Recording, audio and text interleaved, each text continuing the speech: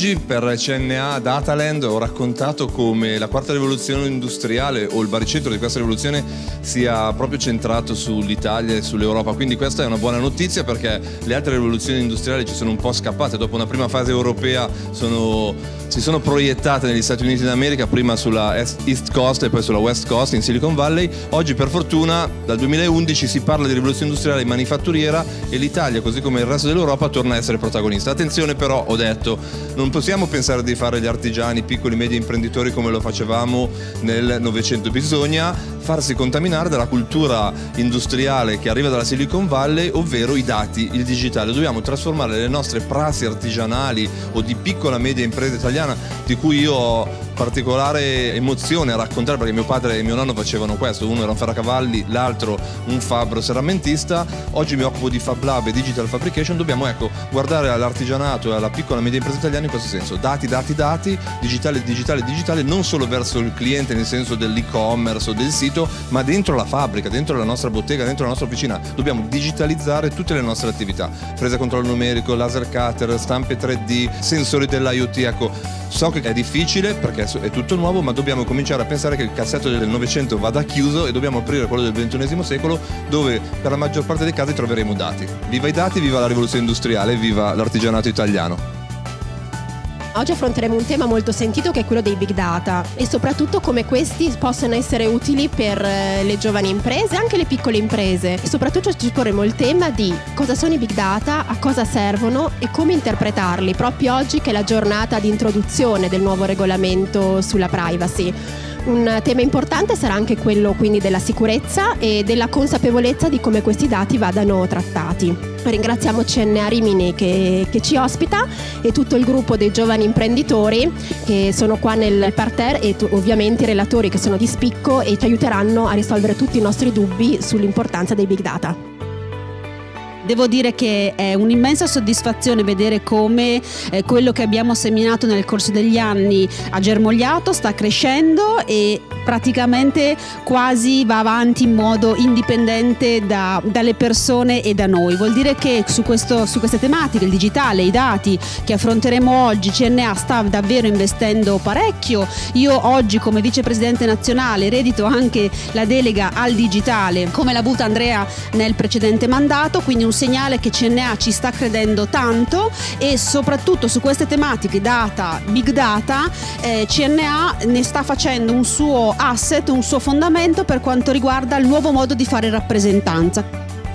Di fatto oggi abbiamo messo l'argomento dati al centro, un argomento che sicuramente ha tanti aspetti da analizzare. Abbiamo voluto portare questo tema del dato connesso perché è di fatto qui la grande opportunità. I dati sono sempre esistiti, la grande opportunità è poterli connettere fra di loro, non solo fra sistemi informativi, non solo connettere le persone, ma le persone e i sistemi informativi. Questa grande opportunità eh, apre uno scenario che ad esempio nella dimensione di città può creare un eh, vero grande impatto con lo sviluppo di progettualità nuove, innovative che mettono i dati al centro, che sfruttano questi grandi moli di dati, questa grande nuova risorsa per realizzare nuove soluzioni per migliorare la vita delle città e dei cittadini. Lo vogliamo fare però mettendo eh, in connessione non solo i dati ma anche gli attori che non solo hanno questi dati ma possono utilizzare i dati e quindi la pubblica amministrazione, le piccole e medie imprese, le grandi imprese e di fatto anche gli innovatori e le idee.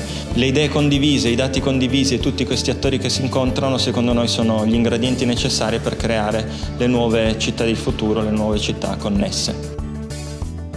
L'intelligenza artificiale è una delle parole più calde del momento, se ne parla tanto, se ne parla spesso a sproposito e credo che pochi sappiano raccontarla al meglio, eh, ma è una parola che bisogna conoscere, bisogna essere consapevoli di quali sono le possibilità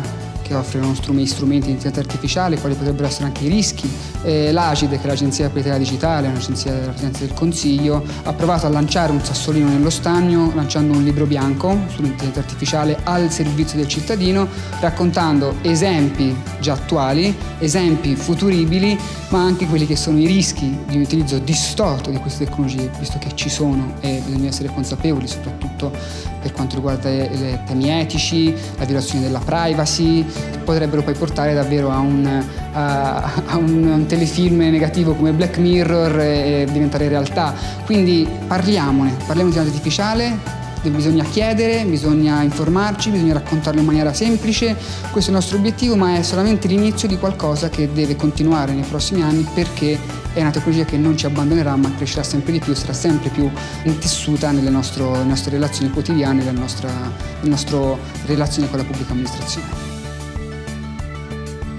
Oggi abbiamo parlato di due generi di strumenti. Il primo, strumenti per gestire i grandi dati che già sono a disposizione anche delle piccolissime aziende e che possono essere sfruttati per migliorare sia in ottica marketing che comunque in ottica di mm, movimento verso il cliente, di maggiore orientamento al cliente. Dati che possiamo prendere gratuitamente da Google, da Facebook, dai nostri siti internet e che con veramente poco sforzo possono essere una leva per avere quel numero in più, quel, quel supporto in più per prendere una decisione che vada verso l'interesse dell'azienda ascoltando in maniera nuova il cliente. Il secondo strumento grandissimo che abbiamo